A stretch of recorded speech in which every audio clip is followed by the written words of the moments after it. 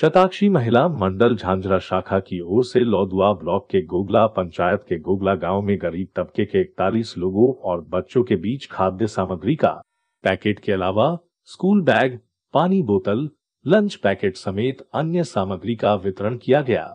इस अवसर पर झांझरा शाखा की अध्यक्षा वंदना शर्मा ने कहा कि ईसीएल शताक्षी महिला मंडल की अध्यक्षा पुष्पिता पंडा उपाध्यक्षा चंदा गुप्ता के अनुप्रेरणा से ईसीएल की सभी क्षेत्रों की शताक्षी महिला मंडल में सेवा भावना जगाने का कार्य किया है।